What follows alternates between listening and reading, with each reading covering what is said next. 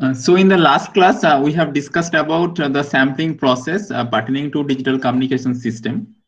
Now, before uh, discussing our today's topic on quantization, let me tell you very briefly what we have discussed in the last class. in fact, we have a, a situation like this. We have a continuous time signal. For example, we have a continuous time signal, something like this.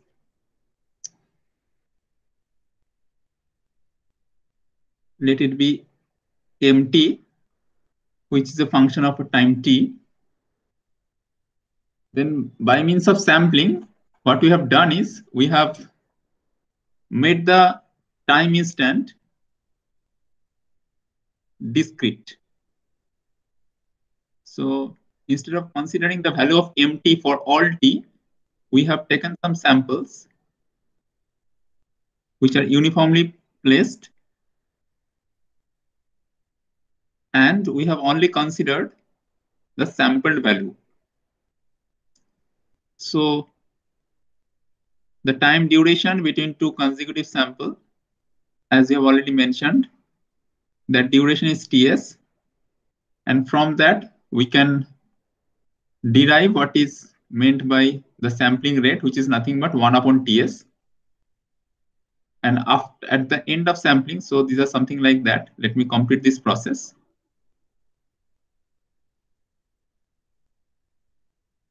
So after sampling, what we have is a sequence of samples like this.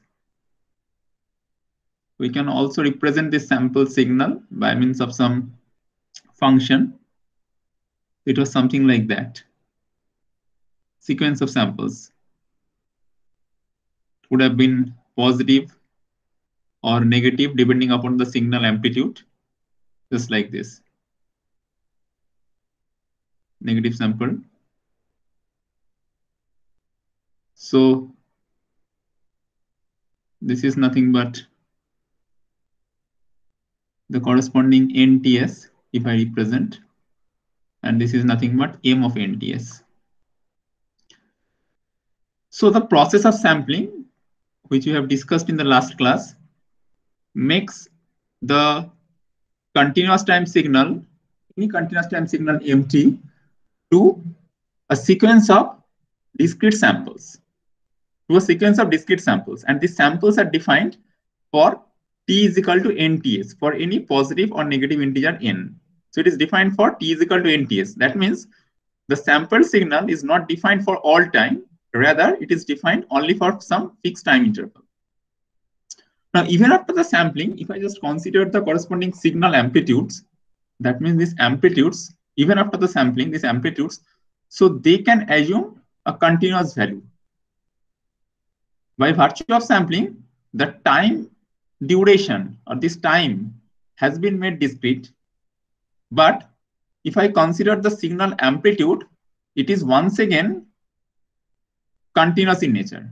For example, if I consider that this mt is defined over the range, say m minimum to m maximum, suppose mt is defined over m minimum to m maximum. That means the maximum value of mt is given by m max and the minimum value of mt is given by m min. So this m min and m max could have been any real positive number or negative number.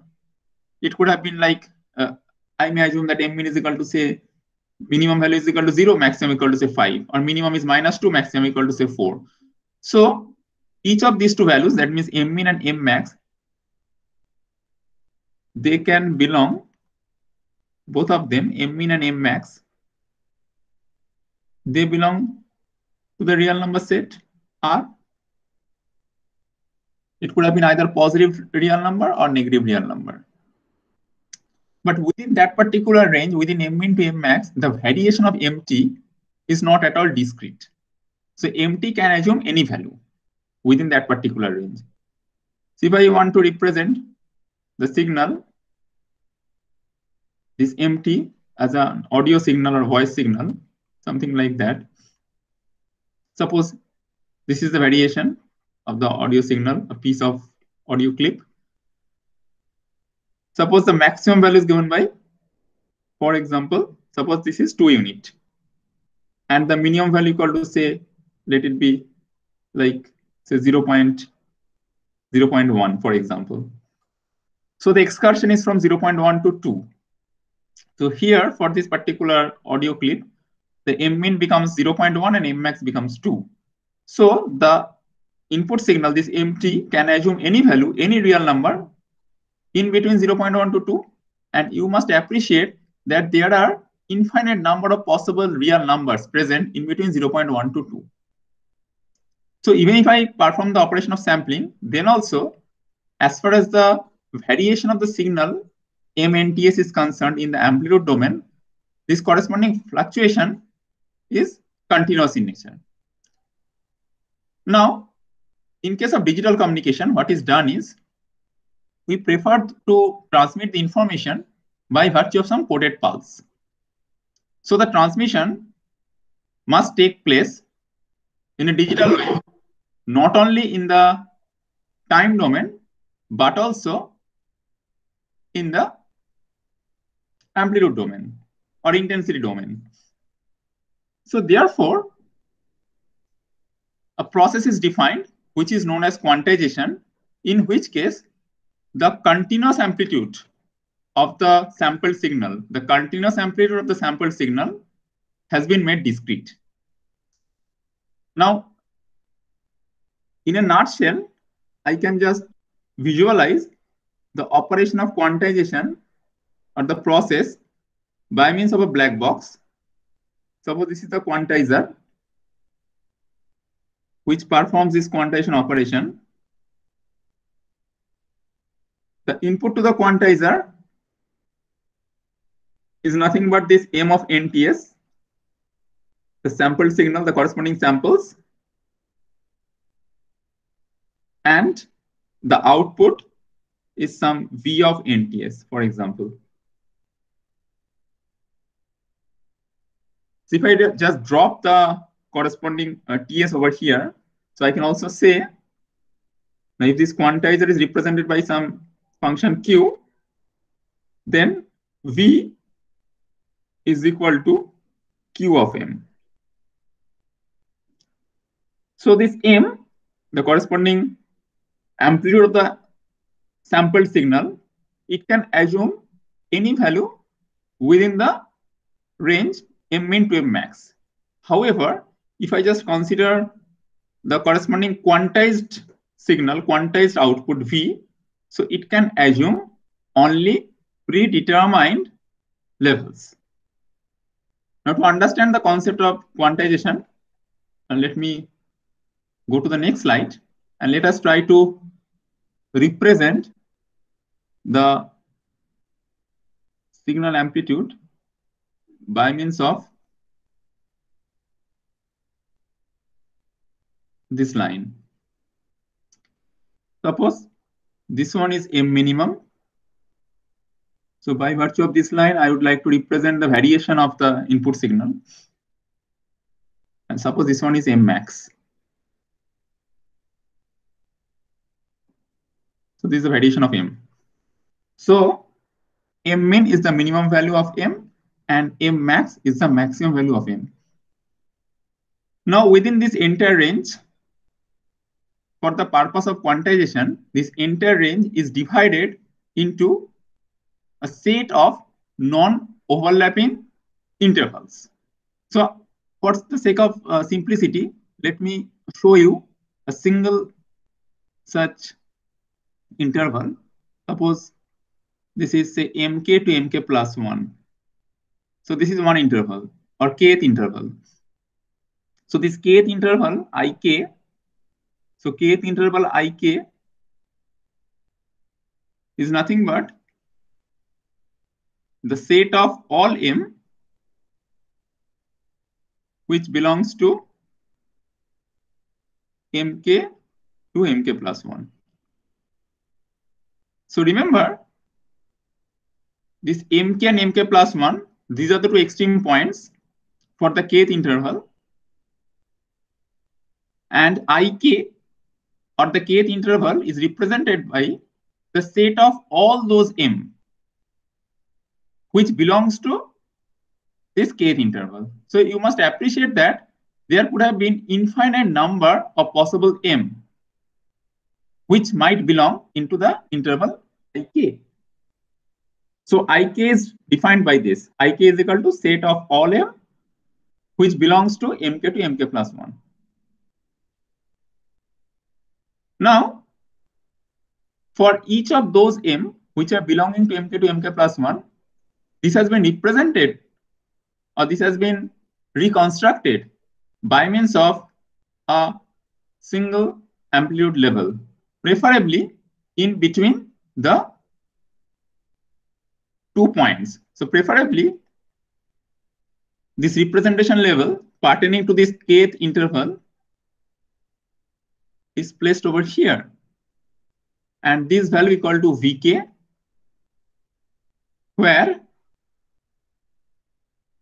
Vk is in between mk to mk plus 1 and preferably Vk is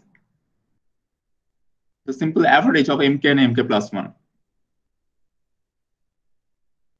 For uniform quantizer, this Vk is given by mk plus mk plus 1 upon 2. So this Vk is placed in the middle of this entire interval. Now the process of quantization makes this transformation whenever at the input of the quantizer, any signal is obtained in between this particular interval, in between this kth interval ik, then the corresponding signal or corresponding sample value is represented by the representation level pertaining to the kth interval.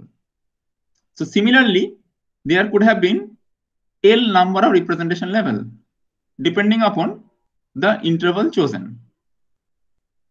For example, if the entire variation, if the entire variation m max to m min is divided into L number of such representation levels, then I can always write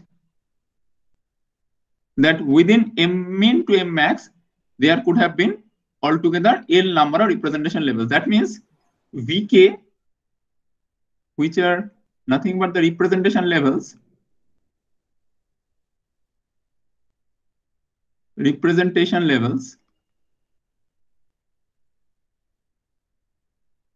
Now this Vk is the kth representation level for k equal to 1, 2, 3 up to L.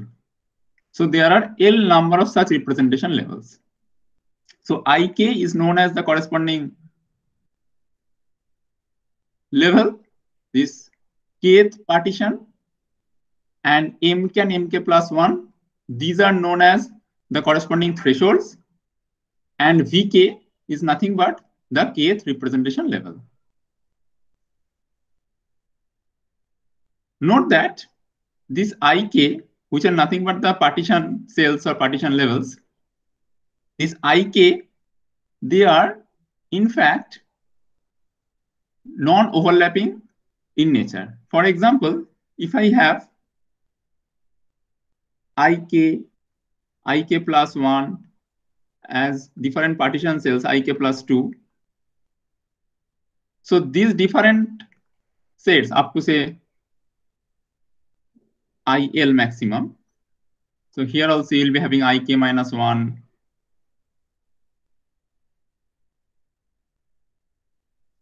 IK minus 2 and so on.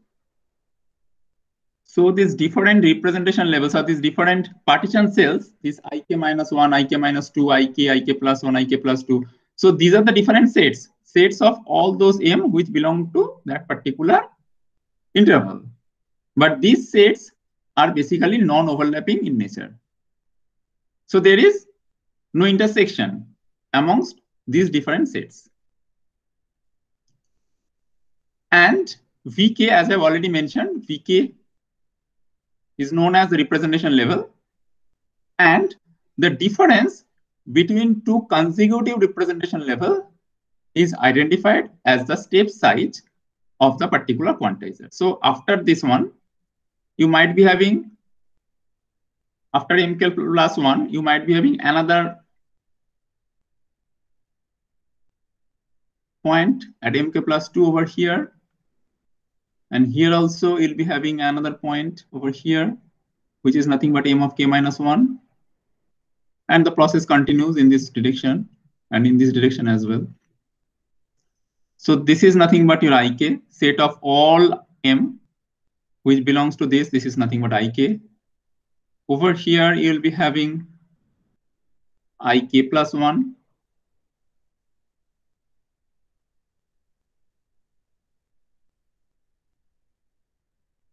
And this one is nothing but i of k minus 1. So these are the partition cells or partition levels.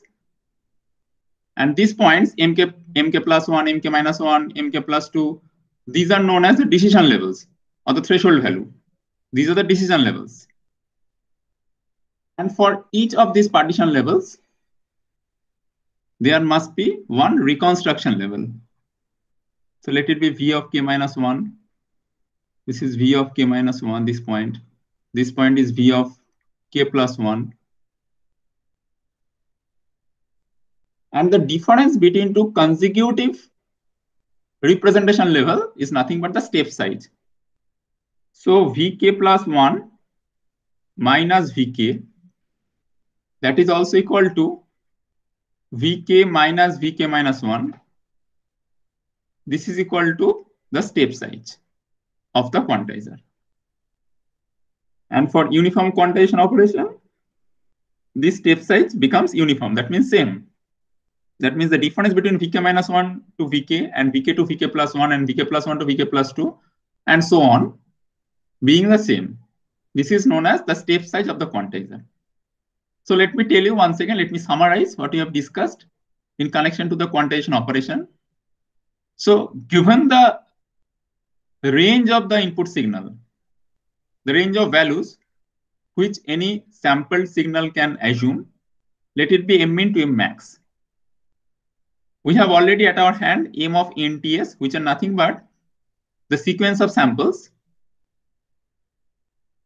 defined at a particular value of t. Unlike your continuous time signal, now the sequence of sample is defined only for some specific value of t, which is nothing but t of nts. t is equal to nts.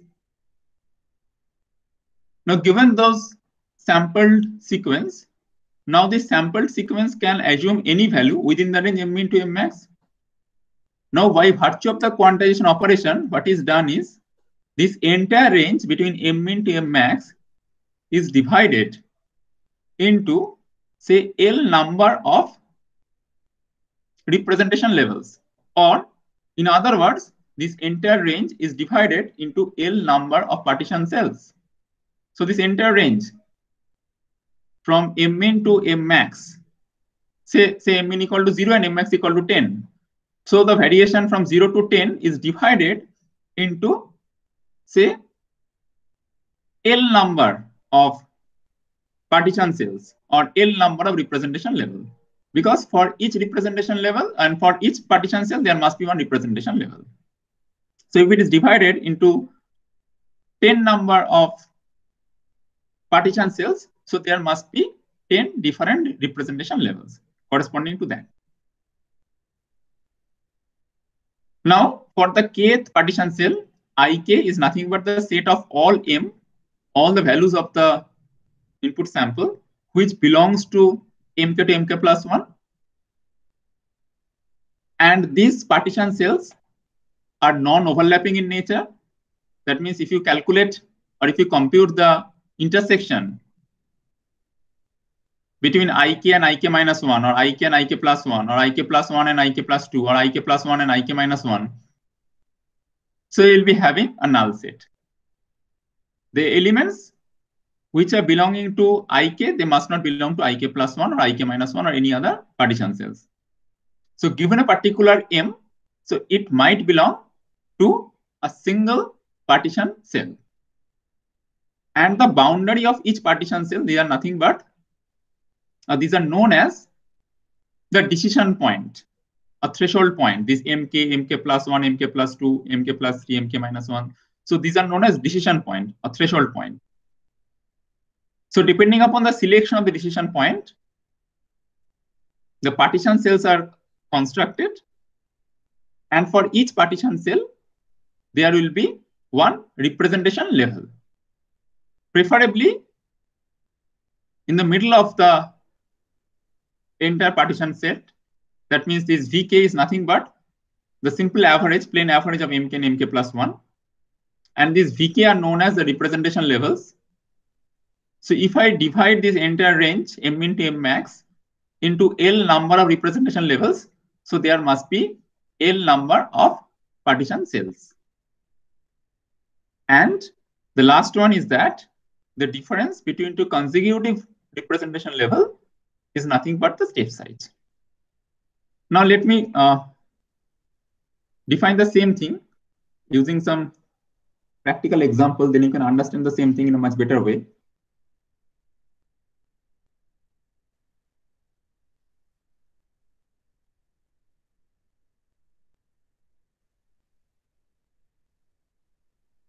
Let me have the variation from let me have the variation from say the variation is from say minus 5 to plus 5 so this is the variation of the input signal. I am assuming that m min equal to minus 5 and m max equal to plus 5 it is not necessarily that uh, this uh, m min and m max they must follow this particular relation. That means that means m min equal to minus of m max. So for the sake of simplicity, I'm assuming minus 5 and plus 5. It can be anything. It can be minus 4 and 7, minus 2 and 1, minus 5 and minus 8. It can be anything. So for the sake of analysis, I have just taken it like this, minus 5 to plus 5. Now suppose I divide this entire range m min to m max into say 10 number of partition cells. So suppose this is the zero, this point is zero. So then this is one, this is two, this is three, this is four. Over here you have minus one. This point say minus two. This point say minus three. And this point say minus four. So altogether, if I just calculate how many such partition cells exist. So this is the first partition cell, minus 5 to minus 4. The second partition cell, minus 4 to minus 3. Third one, minus 3 to minus 2. Then minus 2 to minus 1 and so on. So altogether, you'll be having 10 partition cells. Starting from, say, I1 to I10. I1 to I10. Or you can also represent it like as far as our notation is concerned, you can also represent it like i minus 5, let, let it be i minus 5 to say i4. So there are altogether 10 levels. i minus 5, i minus 4, i minus 3, i minus 2, i minus 1, i naught, i1, i2, i3, and i4. So altogether there are 10 levels. 10 partition cells. And for each partition cell, there must be one corresponding representation level. So this is the representation level for I5. So this is the representation level for I, uh, I of minus 4. This point is the representation level for I of minus 3. This is for I of minus 2, I of minus 1, I of 0, I of 1. So these are nothing but v minus 4, v minus 3, v minus 2, v minus 1, and so, so on. So if I just consider, say, this zeroth representation level, I mean, uh, zeroth partition cell I0 to I1, I mean, this point, if I just consider. So for the zeroth partition cell, I0 this is nothing but the set of all m. So this is nothing but m. So this is nothing but the set of all m which belongs to 0 to 1. That means let it be 0, less than m less than equal to 1. So readily I can identify the decision point pertaining to this uh, zeroth uh, partition cell. So this point is 0. That means m0 equal to 0 and m1 is equal to 1. And from that, I can easily find out what is the corresponding representation level pertaining to the zeroth partition cell. So this is nothing but V0, nothing but 0 plus 1 by 2, that is 0 0.5. So 0 0.5 being the representation level for the zeroth partition cell. Similarly, for the next partition cell, the representation level becomes 1.5, next one is 2.5, next one is 3.5, and so on. And you can easily find out what is the step size. So step size is nothing but the difference between two consecutive representation level. So the step size here, it will be, if I represent the step size by delta, the step size is represented by delta. So delta is given by, in this particular case, this is nothing but one. Difference between two consecutive representation level. Now, if there are L number of such representation level exist in this particular case, if there are L number of representation level exist, and if the variation of the input signal is from M min to M max, and if the step size is delta, then I can always write that the step size delta in general can be represented by this M max minus M min. That means the total fluctuation of the input signal M max minus M min divided by L. The step size is nothing but the total fluctuation of the input signal M max minus M min. This is the allowable fluctuation of the input signal, permissible fluctuation of the input signal, or the sample signal M max to M min. So this is the fluctuation, and this entire fluctuation has been segregated into L number of representation levels or L number of partition cells. So what will be the distance between two consecutive representation level? So this is nothing but M max minus M min by L. So for this particular case, M max equal to 5, M min equal to minus 5. So the total range of the input signal becomes 10, 5 to minus 5. The range is 10. And we have divided this entire range into 10 such levels. So 10 in the numerator and 10 in the denominator. So the step size will become 1, 10 upon 10. You can also increase the number of representation levels, or you can also reduce the number of representation levels. So given this M max minus M min, this difference is fixed. The range of the input signal is fixed. So if you make any attempt to increase the value of L, so automatically the value of delta will be reduced and vice versa. For example, here, if you want to introduce more number of partition cells, instead of only 10 partition cells, if I want to uh, incorporate, say, 20 partition cells, so in that case, L will become 20. So the numerator is fixed at 10. So instead of considering 10 different partition cells from I minus 5 to I4, if I want to have, say, 20 such uh, partition cells, so in that case, uh, L becomes 20. And then the delta, that means the difference between two representation two consecutive representation level will become 0.5 only 10 upon 20 that is 0.5 on the other hand if you want to have say less number of representation level or less number of uh, partition cells so instead of having say 10 partition cells if you have if you want to have only five partition cells so in that case what happens uh, so five partition cells so then uh, the uh, l value will become only 5 and the delta that means the difference between two consecutive uh, representation level will become more, it will become 2 this time because 10 upon 5, it will become 2. So obviously delta and L, so they are inversely proportional to each other given that this range of the input signal is fixed. So looking at uh, this particular uh, variation of the signal amplitude, so whenever the sample signal MNTS is provided at the input of any quantizer, first of all, the quantizer must find the representation level in which that corresponding sample value can be fitting. For example, if I assume that that m of NTS is equal to say 0 0.4 for example m of NT is equal to 0 0.4 then the quantizer must search the corresponding partition cells in which this sample value of 0.4 is a member. So it must start with i of minus 5, whether it is belonging to i of minus 5, no. Then i of minus 4, i of minus 3, i of minus 2. Then once again, when it comes to over here, i of 0, then it finds that 0.4 is a member of this particular partition cell. Because i of 0 is nothing but a set of all m which satisfies this condition 0 to 1.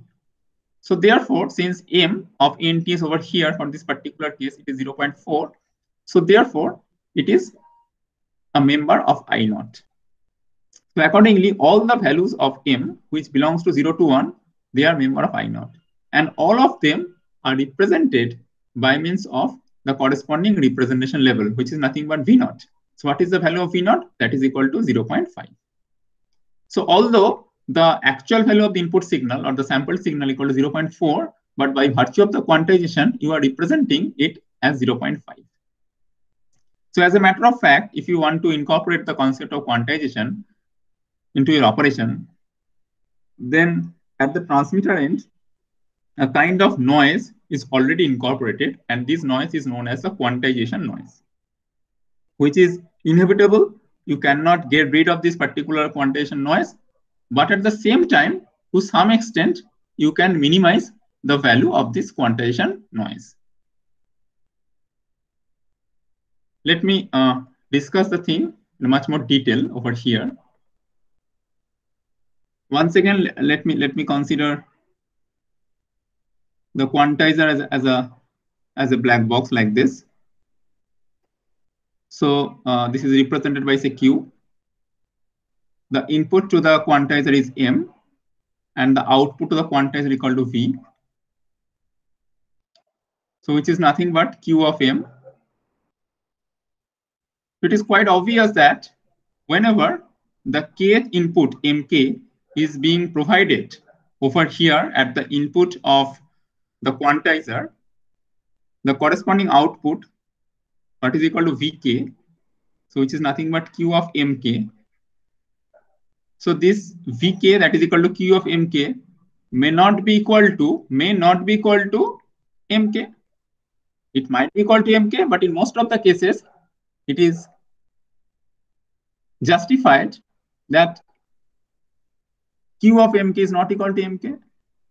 Previously, we have seen that if m of k is equal to like 0.4, then q of mk is becoming 0.5. That is vk is equal to 0.5. So in that case, vk and mk, they are not the same. In case mk is equal to 0.5, if it matches exactly with the representation level, then obviously vk and mk being the same. But in case vk and mk are not the same, which is supposed to happen in most of the cases, then obviously a kind of noise is incorporated. And this noise is represented by, this noise is represented by, or this error signal is represented by E, which is nothing but MK minus VK. And in most of the cases, you must understand that this noise is non-zero noise. It could have been either positive or it could have been negative. For example,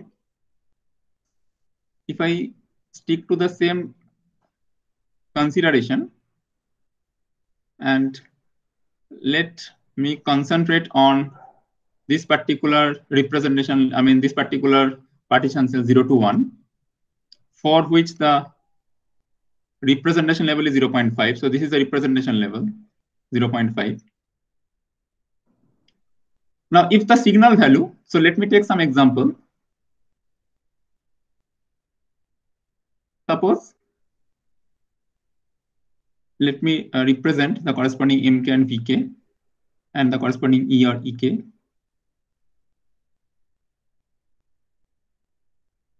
suppose mk is equal to 0.4. Already you have seen that vk is equal to 0.5. What is the error? So error is nothing but minus 0.1. Suppose mk is equal to 0.8. Here also vk will be 0.5. So then ek will be 0.3 only. Then say mk is equal to say 0.9. Then also vk will be 0.5, in which case ek will be 0.4. Next, I consider mk is equal to 0.35. vk will be once again 0.5 because it belongs to this partition cell I naught. So what is the difference? What is the error? Error is minus 0.15. And let me take some extreme case. Suppose mk is equal to 1. Then also vk will be 0.5 and ek will be 0.5. So the corresponding error signal could have been either positive or negative, depending upon the value of mk.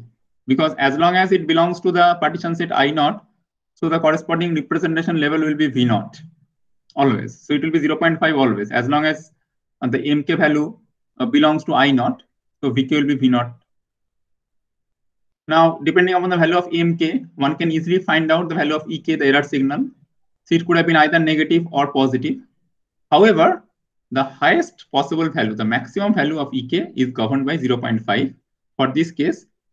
And if I make it general, if I make it general, then for a step size delta, for a step size delta, if the step size is delta,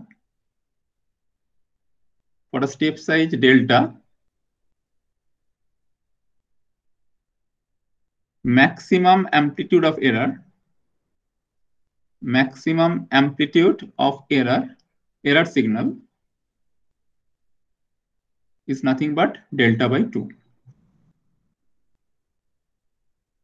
Maximum amplitude of error is nothing but delta by 2.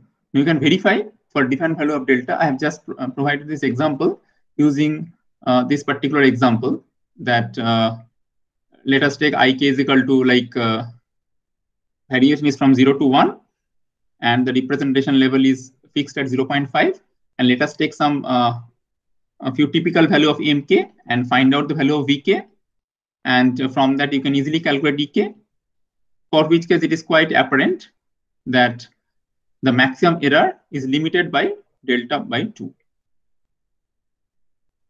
now accordingly since the error is introduced at the transmitter side so it might create some disturbance in the appearance of the actual signal at the receiving end. And this disturbance appears in the form of a noise. And our fundamental objective will be to reduce the noise resulting from the quantization. And this type of noise is known as quantization noise. And we are in a position or we need to find out some mechanism to improve the signal to quantization noise ratio for any transmitter.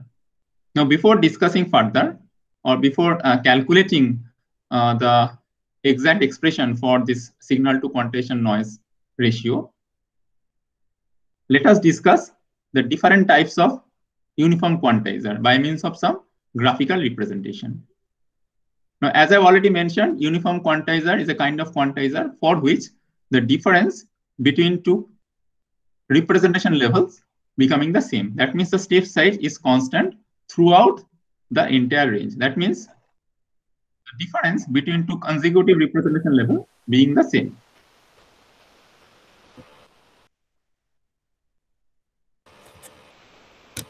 Now let us consider the two types of quantizer, two types of uniform quantizer by means of some graphical illustration.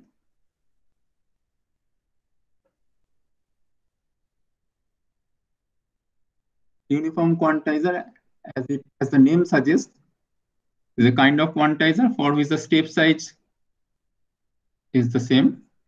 I mean, the step size is constant. So let me start with a mid rate type of quantizer.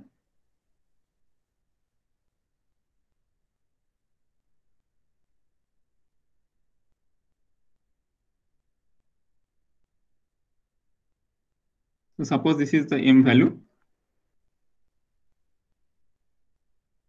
Sampled output, and this is the quantized output.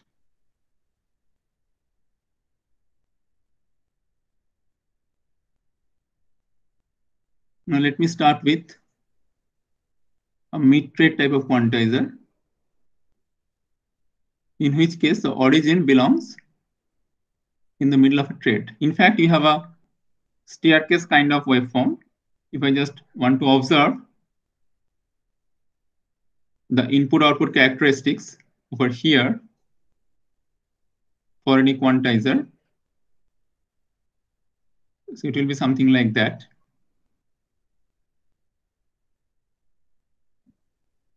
I think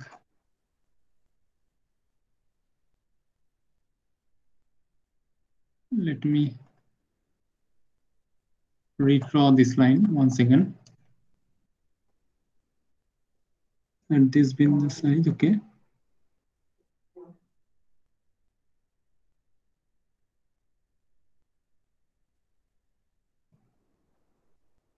So these are the different levels. I'm going to explain after I complete the drawing.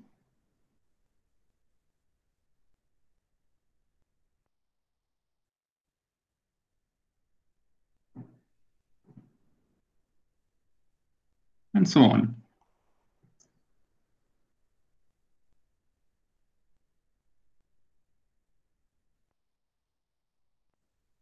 So let it be, let it be like M1, this point let this point is M2. Let this point is M3. This point is M4 and so on. Here you have this point as M of minus 1, this point M minus 1. This point M of minus 2. This point M of minus 3 and so on. Now considering the corresponding representation levels, let, as far as our notation goes, let it be V1. Let it be this point is V2. This point is V3 and so on. This point is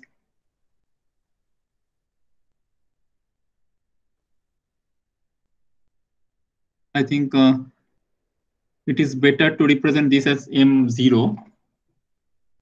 It is better to represent this as M0 then notationally will be correct.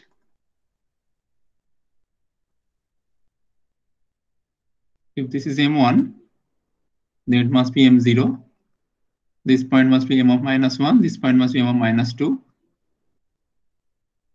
And accordingly, as far as the representation level is concerned, this point is V0.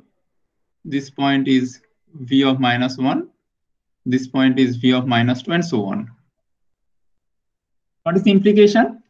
If the input signal, if the M value lies between M1 to M2, for any value of M, which is lying in between M1 to M2, the corresponding output of the quantizer is nothing but V1. It is freeze at V1. Similarly, if the input sample is between M2 to M3, M2 to M3, then the corresponding sample value, I mean the quantized output is given by V2. And here also, if the input value is between M0 to M1, then the sample value will be V0. If the input sample is between M minus 1 to M0, then the sample value will be V minus 1 and so on. So this type of quantizer is known as a mid-trade type of quantizer. Obviously, the shape of the transfer characteristics. As you know, transfer characteristics is nothing but the variation of output with respect to input. For any uh, graph which shows a variation of the output with respect to the input, it is known as the transfer characteristics. Now for the quantizer, we find that the transfer characteristics looks like a staircase waveform. Now, if for this particular staircase waveform, if the origin, if the 0, comma 0 position lies in the middle of a trade, with the middle of a trade, then this type of quantizer is known as mid-trade type of quantizer because the origin lies in the middle of a trade. So it is known as mid-trade type of uniform quantizer, mid-trade type quantizer, mid-trade quantizer, uniform quantizer. So why uniform? Because if I find out the difference between two consecutive levels, that means the height of this particular staircase. So these are nothing but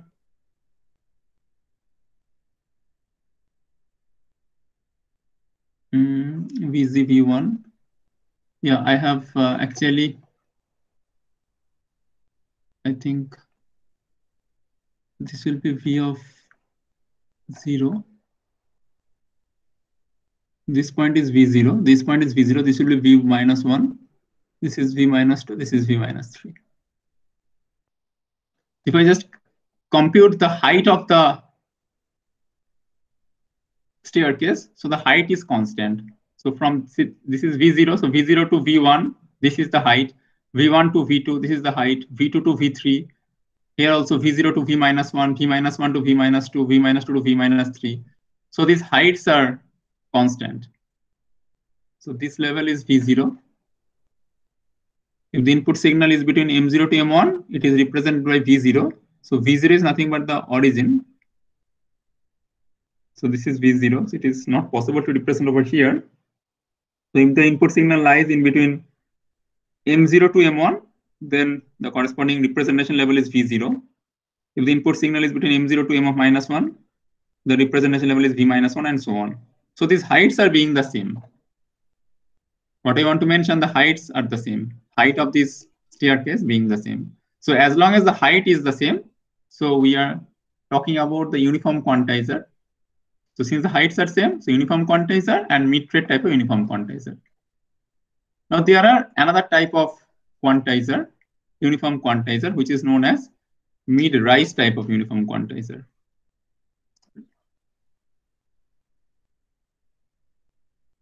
Mid-rise type of uniform quantizer.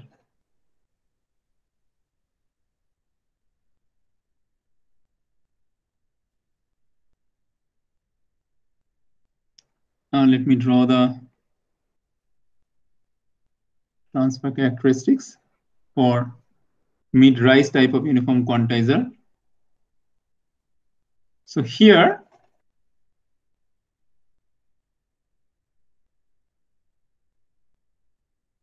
here the origin lies in the middle of a rise, not in the middle of a trade. Rather, the origin lies in the middle of a rise, just like this.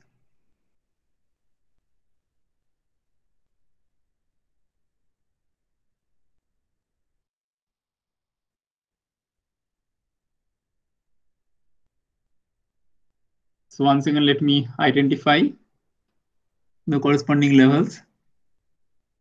Let it be M1, let it be M2, let it be M3,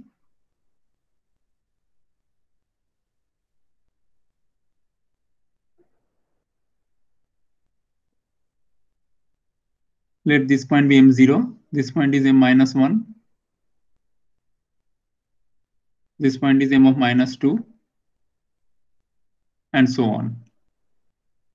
Similarly, for the representation levels,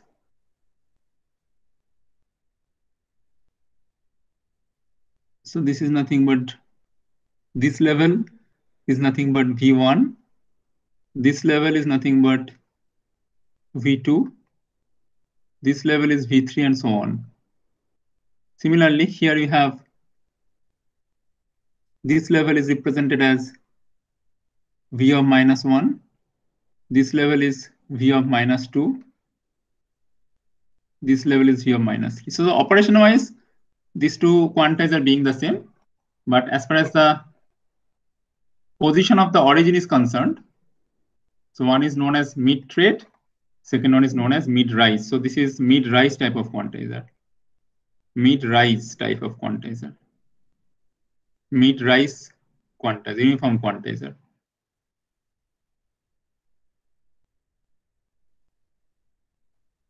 So here in this particular example, the example which we have already considered, say 0 to 1, there is one partition cell, 1 to 2, another partition cell, 2 to 3, another partition cell, minus 1 to 0, and so 0 for this particular example, 0 is one of the decision points or one of the threshold. So if 0 is one of the threshold, then we must understand if 0 is one of the threshold, then we must understand that it's a kind of mid-rise type of quantizer. What we have discussed so far in this particular example, in which case the input signal fluctuation is from minus 5 to plus 5, and we have made the corresponding, or we have assigned the corresponding partition cells in such a way that minus 5 to minus 4, one cell, minus 4 to minus 3, second cell, minus 3 to minus 2, and so on. Then 0 to 1, that is I0, and minus 1 to 0, that is I of minus 1. So at point 0, there is a change of cell representation. So it must belong to, or it's a type of mid-rise type of quantizer. If the value is higher than 0, then we must assign it to V1, V0, and if the value is less than 0, then we must assign it to v of minus 1. Here also you can observe at point 0, at point 0, there is a kind of discontinuity.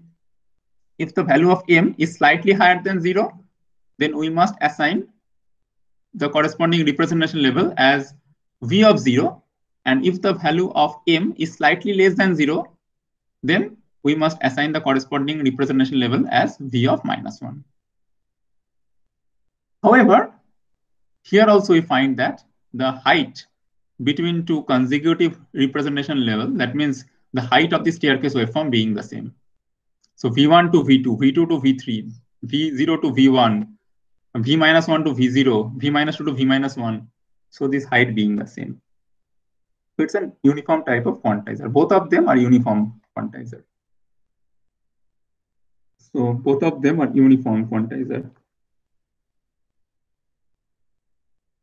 Uniform quantizer. Uniform quantizer, that means step size, step size, that is delta, is constant. So this is a property of uniform quantizer. Step size must be constant. Step size is constant. Now, uh, since we have already mentioned that uh, if uh, we invoke the concept of quantization in the process of uh, making the signal ready for transmission in case of digital communication, obviously, uh, we are introducing some noise. Although this noise might not be perceived properly by your receptors because uh, most of the cases, ear and eye, human ear and human eye, they are the final receptors. And they are, in most of the cases, sensitive to some discrete variation of the intensity levels. The continuous variation of the intensity levels may not be perceived properly. So if I uh, segregate the entire range of the input signal into some discrete intensity levels, then it is not possible for our receptors to identify that corresponding change which has been crept in the form of quantization.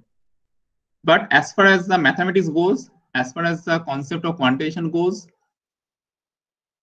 as long as we make the signal discrete in the amplitude domain, uh, some kind of noise, whether it is perceived or not by the auditory system or visual system, but the noise is already incorporated and we have to identify the impact of noise in the form of signal to quantization noise ratio. Now, once again, uh, let me consider the quantizer as a black box. And now let us make it much more general.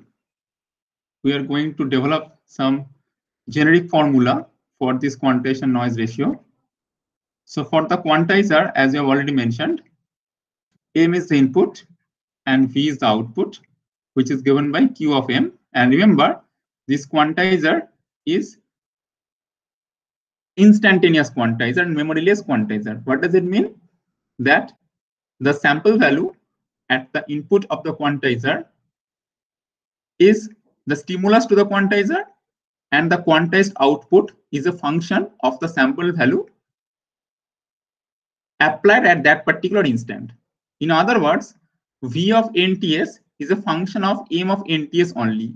It is not at all a function of M of N minus 1 TS, N minus 2 TS, or N plus 1 TS, N plus 2 TS. That means if I apply the sample at particular time, say T is equal to 0.5, then the quantized output at T is equal to 0.5 is a solo function of the input sample applied at 0.5. So that's why it is memoryless and instantaneous. Now, for example, let us assume that the input signal which we supply over here, the sample signal which is supplied at the input of a quantizer is a random variable and this random variable is having zero mean. So I can assign or I can identify one random variable capital M whose sample value is small m and this capital M is a zero mean random variable. So in case capital M is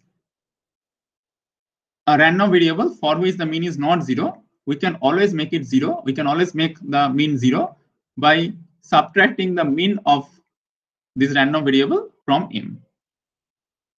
Now for simplicity, I'm assuming that this capital M is a zero mean random variable for which small m is the sample value. So the error signal which we obtain at the output of the quantizer is given by E, which is nothing but M minus V or this is M minus QM. Now we have already seen that the error signal itself can assume either positive or negative value depending upon the value of M. If it is higher than the representation level, if the input signal actual sample value, if it is higher than the representation level, then the error signal will be positive. And if the input signal, the sample value of the input signal, if it is less than the representation level, then the error signal will be negative. And the maximum value of the error signal is limited by half of the step size.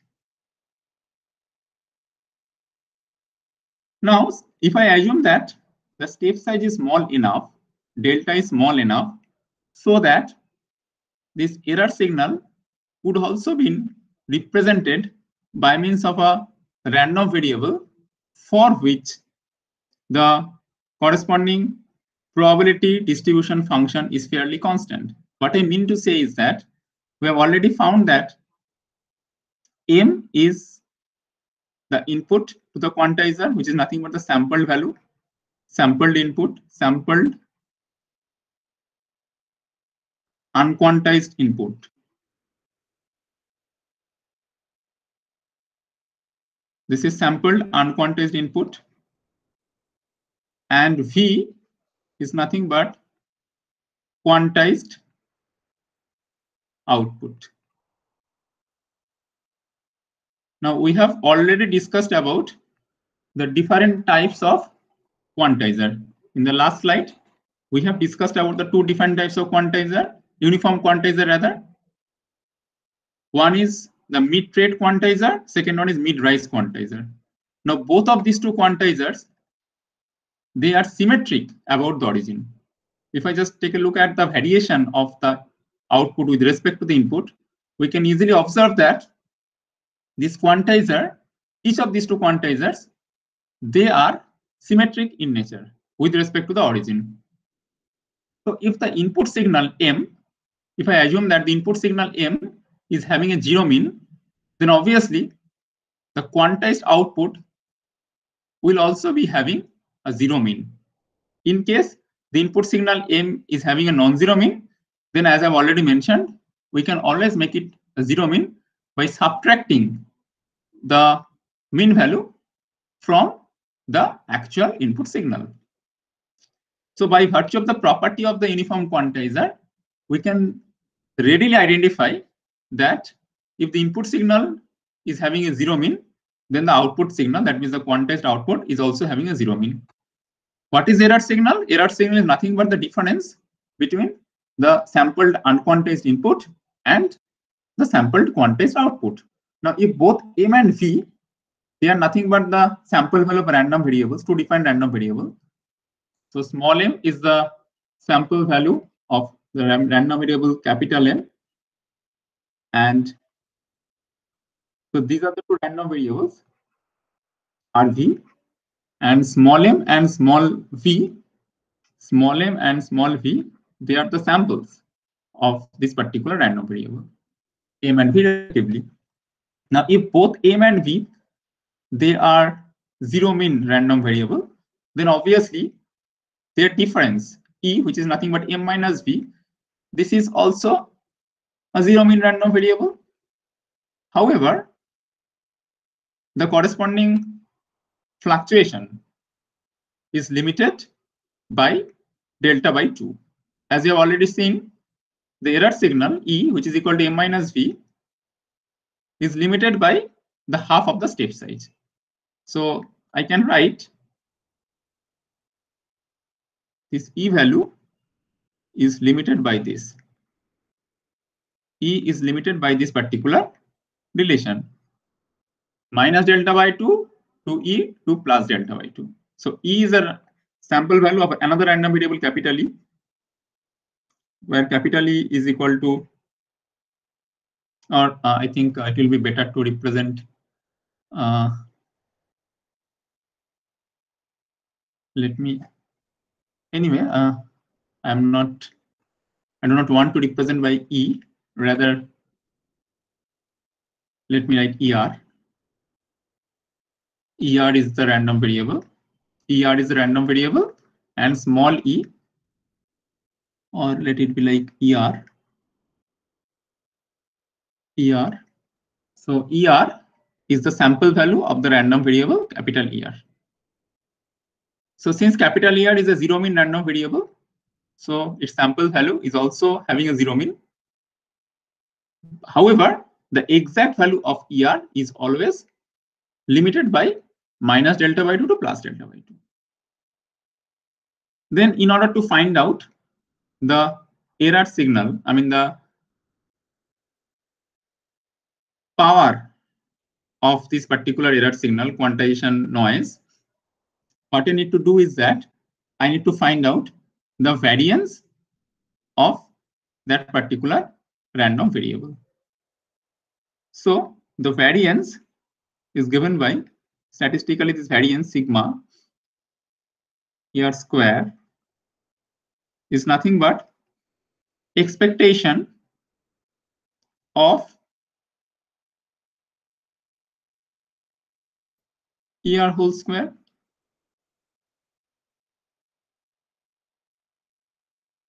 this is nothing but expectation of ER whole square since already we know that the random variable ER is having zero mean. So how to write down this one? Expectation of ER whole square. So expectation is given by the corresponding so there could have been the corresponding fluctuation of ER. So ER can assume any value within minus delta by 2 to plus delta by 2. So it is like minus delta by 2 to plus delta by 2. So this is the variation of the signal ER. So I can write like ER square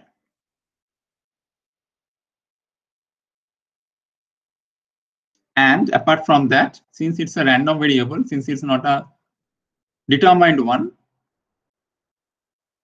so there should have been the corresponding probability density function.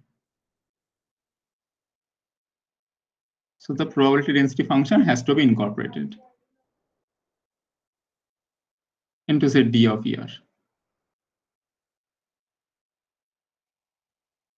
You must appreciate that this error signal ER is not a deterministic variable. It's a random variable.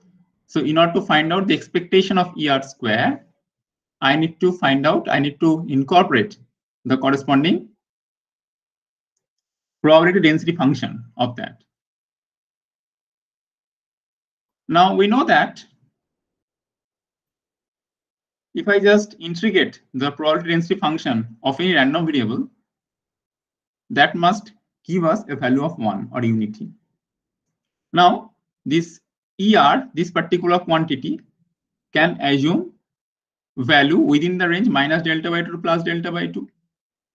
And if I assume that this range is very small enough, then over this range minus delta by 2 plus delta by 2, over this range minus delta by 2 to plus delta by 2, I may safely assume that the corresponding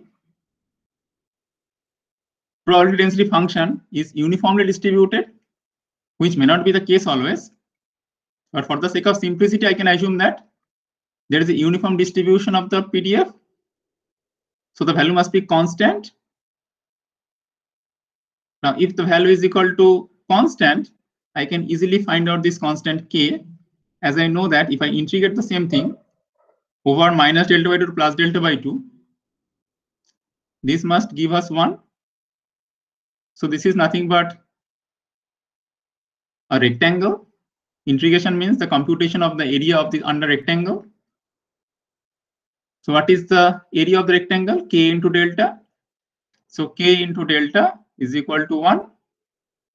Because if you integrate the probability density function, PDF, it will give you 1. So K equal to 1 upon delta. So under this condition,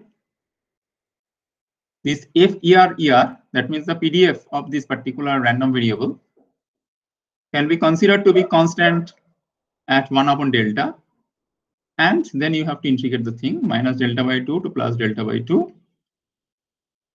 er square d of er. So x square dx integration, so nothing but x cube by 3, x cube by 3, so 1 by delta outside, x cube by 3. So I can put the value directly, delta by 2 whole cube minus of minus delta by 2 whole cube into one third. So you have del cube by 8 minus of minus of del cube by 8 plus del cube by 8. So altogether you have del cube by 4. So del cube by 4 multiplied with 1 upon 3 delta. So which gives rise to del square by 12. So the quantization noise is given by del square by 12.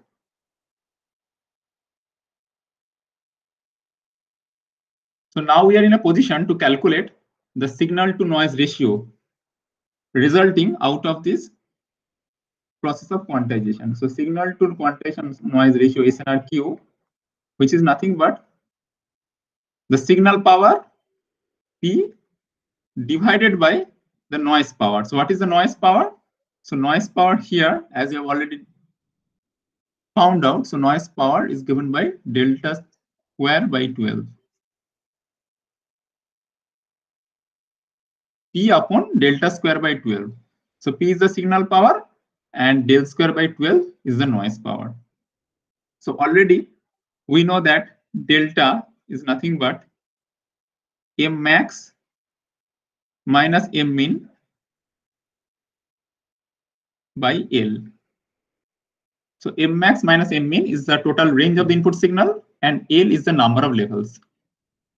Now remember, whenever I would like to represent the signal sample by means of L number of levels, so it has to be done by sending some pulses through the transmission media. Now, if there are L levels, so I can assign, for example, if I assign R number of bits, if R number of bits are assigned, if R number of bits are assigned for transmission,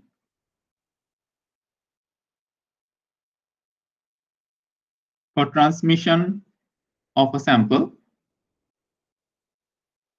for transmission of a sample,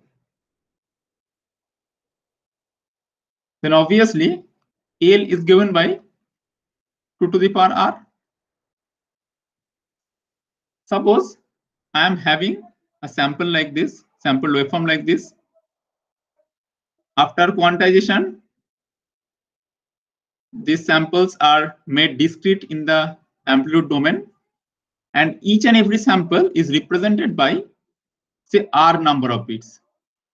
So how many possible representation levels do i have? I have altogether 2 to the power r number of levels. So l is nothing but 2 to the power r. So if i put this value if i if i just make it uh, like uh, capital m or uh, say uh, let it be like say this is the range say m which is nothing but m max minus m min. So I can write this like m by 2 to the power r. m by 2 to the power r. So what is r? r is the number of bits assigned for the transmission of the sample. So if I have 8 bits in my hand, then I can have altogether 2 to the power 8, that is 256 different levels for transmission. If I have say 6 bits, so then I can have altogether 2 to the power 6, that is 64 levels for transmission. Now putting the value over here, what I find, so del square by 12. So I can have P upon, I think 12 we can multiply over here. And del square means how much? M square by 2 to the power 2R which is nothing but 12p by m square into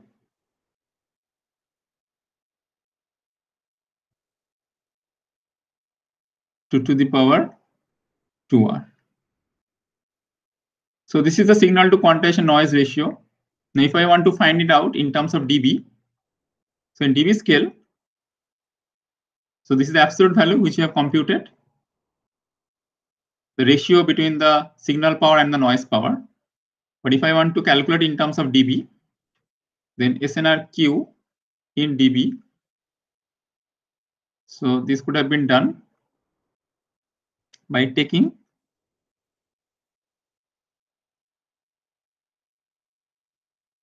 ten log 10 of that. This is nothing but 10 log 10 of SNR SNRQ So 10 log 10, 12p by m square. And then we have 10 log 10 2 to the power 2r. Now 10 log 10 2 is nothing but 3. It's close to 3. And you know, uh, log 10 base 2 to the power 2r is nothing but 2r into log 10 base 2. So then ultimately this part is there 10 log 10 base 12 p by m square this one plus 2r into 10 log 10 base 2 is nothing but 3.01 or close to that so 3 into 2r that is 6r so ultimately what we find is snrq is also a function of the number of bits used for the transmission of sample. So if I just want to represent the final expression over here, so SNRQ in dB, so some constant, say for example, some constant k plus 6r. Now this constant k, it's a function of signal power Obviously, the signal power is more, the SNR will be high. And at the same time, it is a function of range of the input, range of input, M, as we have already mentioned. So let us consider that the signal pod is fixed and the range of input is also fixed. Now, under this condition, this k is fixed. I can treat it to be a constant. Now, depending upon the choice of R, the choice of the number of bits, the SNRQ value of the quantizer will be determined. For example, if I if the signal power and range of input is kept constant, and if the R value, the number of bits, is increased by at least one bit, then the SNR SNRQ will be improved by at least 6 dB as apparent from this particular derivation. Then obviously our objective at the receiving end will be to enhance the signal to quantization noise ratio because it is a kind of noise which we purposely introduce at the transmitter end. We do not want that signal to noise ratio should be very small at the transmitting end because it's a kind of noise which we purposely introduce in the transmitter side. This is not the noise which is crept into the signal during the transmission. So our objective will be to enhance the hello SNRQ.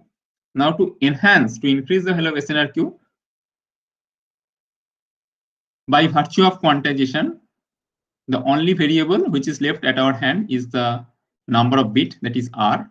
So if I increase the value of R by one bit, then obviously the SNRQ will be improved. That's the biggest advantage. But at the same time, if I make any attempt to increase the number of bits, then you must know that increasing R means if I increase R, then within a particular time, say within this time, within a time of capital T, previously I am sending say R number of bits by means of some pulses. So within time T, within time T, I'm sending those pulses. Suppose I'm sending pulses like this. Suppose I'm sending few pulses like this. Suppose there are two, three, four, five, six pulses. Now I'm sending six pulses over a time t. So there are six number of bits within a single time t. Now, if I make any attempt to increase the value of r, say 6 to say 10 or 6 to 8, then what happens? The time duration for a single pulse will be dropped down. So this is the time duration of single pulse. This is TB. This will drop down because ultimately R into TB is equal to the time at our hand, that is T. As long as T is constant, and if you make any attempt to increase R, so the bit duration of a single pulse will be reduced. And as far as the frequency spectrum is concerned, minimizing the value of TB will have serious implication in the value of the bandwidth of the spectrum. Lastly, we have already seen that if we have a pulse like this, 0 to t, in the time domain, if you have pulse like this, the frequency domain, so this is A, in the frequency domain, it looks something like a sinc function. And the bandwidth is essentially governed by the first zero crossing points. The bandwidth is essentially governed by the first zero crossing points, this and this. Already have seen that. This is given by 1 by t. This is minus 1 by t. It's nothing but this function is represented by t sine c pi f t, something like that. Sine c pi f t, sine c f t. It is sine pi f t by pi f t. So if you make any attempt to reduce the value of TB by increasing R, then obviously you are gaining in terms of the signal to quantization noise ratio that means the power efficiency of a system is in, improved. Keeping the signal power fixed, you are getting higher value of SNRQ, higher value of signal to quantization noise ratio. But at the cost of what? But at the cost of bandwidth occupancy. Because if you make any attempt to increase the value of R, this will eventually make the value of TB lower. And if you make it lower, TB, then correspondingly, this duration TB, now it will become TB. The corresponding bandwidth of the pulse waveform will be higher because it's it is reciprocal with one with TB. If you make TB lower, then the bandwidth will become more, and accordingly, it will consume more bandwidth during transmission. So in one case, by increasing R, you are getting a power efficient system power efficient system by making SNRQ larger, but the system will become bandwidth inefficient. Bandwidth inefficient. So you need to take some other measure to resolve this issue. However, in order to transmit the information by virtue of discrete pulses, we need to send it through a quantizer, which will make the input signal discrete in the amplitude domain. Before applying to the quantizer, already the input signal was quantized in the discrete in, in the time domain. That means the time domain is already discretized by virtue of sampling. And by virtue of quantization, the amplitude levels are also made discrete. Now, this is what I had to discuss today regarding the quantization process. And with this, uh, let me stop uh, today's discussion on quantization.